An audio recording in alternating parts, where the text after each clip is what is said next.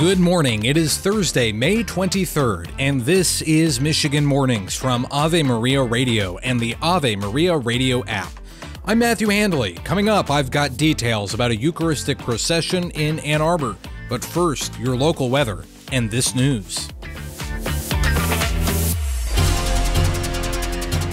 Attorney General Dana Nessel yesterday released a report into clergy sexual abuse in the Diocese of Kalamazoo. The report said there were 19 priests accused of sexual misconduct between the diocese's founding and this year. Two priests have been charged as a result of Nessel's investigation, one of which is serving a prison sentence, and the other reportedly died while awaiting extradition from India. Here's Bishop Edward Lohse. You were entrusted to our care, and we failed to protect you. There is no other way to put it. For that failure, I am deeply sorry. Bishop Lohse had released a list of names of priests and lay people barred from working with children in the diocese earlier this year. The Attorney General's report does not make a statement on credibility on any of the events detailed in the document. AG Nessel says the next reports to come out in this order are Lansing, Grand Rapids, Saginaw, and Detroit. In election news, the Detroit Regional Chamber is canceling the bipartisan U.S. Senate debate that was planned for May 30th after leading candidates refused to take part. Democrat Elissa Slotkin and Republican Mike Rogers are leading the race and declined to participate in the event at the Mackinac Policy Conference. The chamber released a statement saying the refusal to take part in the forum is a concerning trend in today's political dynamic. The parents of Oxford high school shooter Ethan Crumbley are denying his request for help appealing his life sentence. He had asked for access to James and Jennifer Crumbley's pre sentencing reports, which are relevant in his appeal. The reports allegedly contain details about Ethan's home life growing up. The attorney for James Crumbley wrote Ethan could provide his legal team with those details himself without the reports. James and Jennifer Crumbley were sentenced to 10 to 15 years in prison in separate trials on involuntary manslaughter charges. Four students were killed in the 2021 shooting. Teachers in the Troy School District have been working under an expired contract since February 1st, and they want a new deal with better pay. Troy Education Association's Sarah Ritter was among those picketing outside Tuesday night's school board hearing. Right now, mass exodus and we are losing our our brand new or our even our, our mid-level teachers that that you know those are our talent that that's our future the school district and the TEA have had four bargaining sessions in the past month and 15 sessions to date. Both sides have agreed to use a mediator to settle the contract, and that first mediation session was yesterday. This is Michigan Mornings from Ave Maria Radio. Your weather's next. Now, this. The leading Catholic voices are on EWTN Radio. We want listeners to see that God has a unique and unrepeatable plan for their lives and how to rejoice in the work God's doing in their hearts and in their homes. God wants to set us free to live more abundantly. More to Life explores what that really looks like, living it out in our everyday life and relationships. More to Life with Dr. Greg and Lisa Popcak.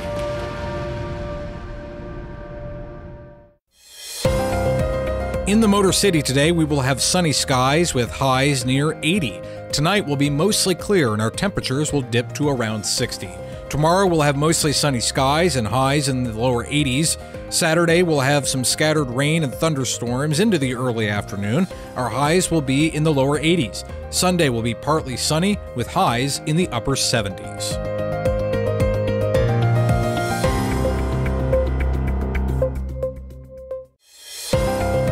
In the Saginaw Valley today, we will have sunny skies and highs around 80. Tonight, we'll have clear skies and lows in the mid 50s. Tomorrow, expect sunny skies and highs in the lower 80s. Saturday, we can't rule out some scattered showers and thunderstorms in the morning. Highs will be in the mid 70s. Sunday, we've got a chance of showers in the afternoon. Highs will be in the mid 70s.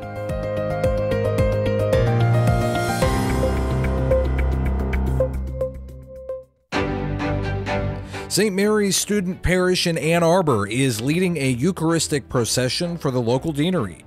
Father Kyle Shinseki, pastor of St. Mary's, joined Teresa Tomeo on Catholic Connection to share the details. Corpus Christi, which is, as you know, right. June 2nd, uh, mm-hmm. uh, Sunday, June 2nd. We're having a procession here in Ann Arbor. And so it'll start at 6:15 p.m. on Sunday at St. Mary Student Parish, which is located here at 331 Thompson Street, and then we'll be processing through the University of Michigan campus, through downtown Ann Arbor, and then we'll be completing the procession at St. Thomas Parish. And so this is a collaborative effort, really, of six parishes in our Ann Arbor deanery. So St. John the Baptist, St. Joseph in Ypsilanti, Christ the King, St. Francis, St. Thomas, and St. Mary Student Parish in Ann Arbor. So we're really looking forward to having this this collaborative event with all of our this new deanery, as which as you know the deaneries and Diocese of Lansing came into effect last July. So this is the first time we're going to do an event of of this um, type with all of our six parishes together. So we're looking forward to that. One detail to mention too is that there is, for those aren't familiar with downtown Arbor, there's free parking on Sundays available in the municipal parking garage, which is right next door to St. Mary Student Parish. Why are Eucharistic processions important? First, to just start with our own you know fellow uh, you know Catholic brothers and sisters that um, we've we've seen sadly that there has been a decrease in the belief in the real presence of in, of Jesus in the Eucharist that his body, blood, soul, and divinity are truly present in the Eucharist, and so.